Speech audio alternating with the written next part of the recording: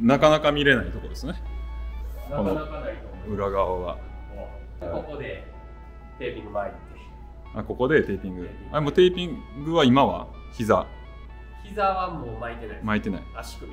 足首はもう毎日毎毎回。うん。もうやらないとゆるゆる。怖い怖い。僕は足首結構大丈夫でしたけど、ああ、そう。うん。すごいよね。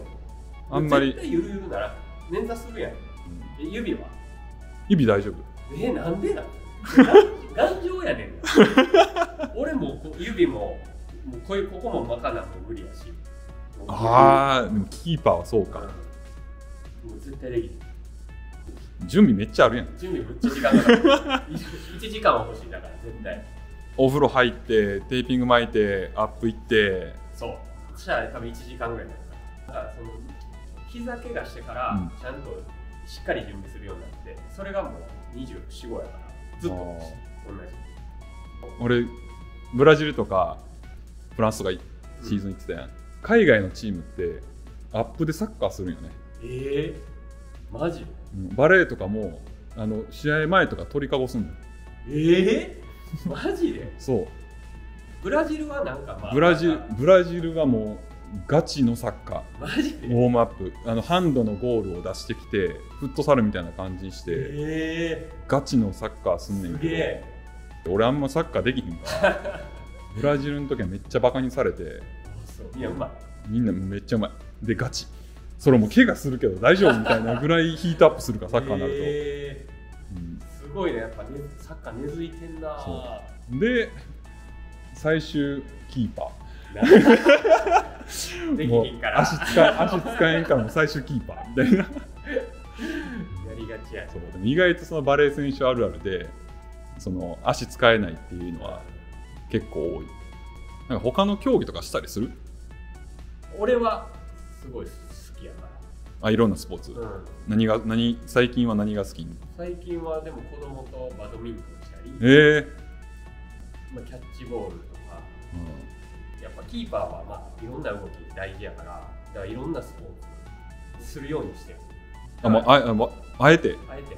ああそれは。キーパーのそのアップとかでもバレーとか。あバレーできんの？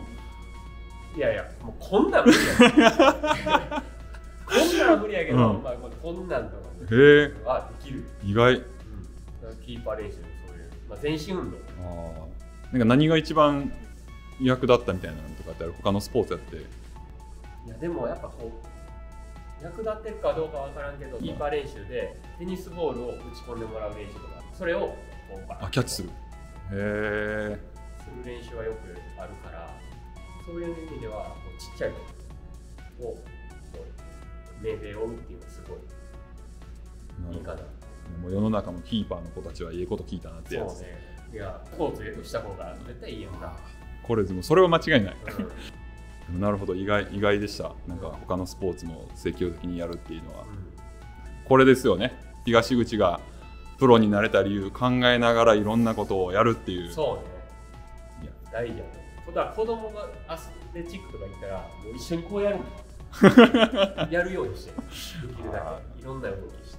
貪欲やな。でもよくなるいや素晴らしい。さすがもう36までやってるだけある、はいいろんな動きした ありがとうございます、い。いよ。いいける。いける。いける。うまいける。でね十分しりとりしないしりとりしりとりさあスリータッチやっぱそうなのでも全然できてるやんなで次バレーボール普段からやってる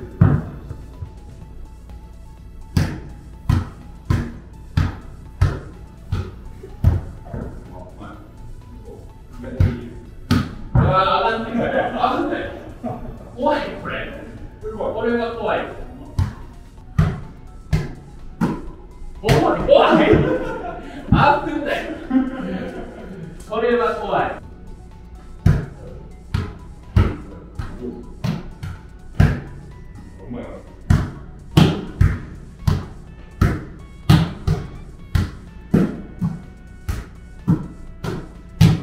これでもいいやん。それそれそれいける使っていいやん。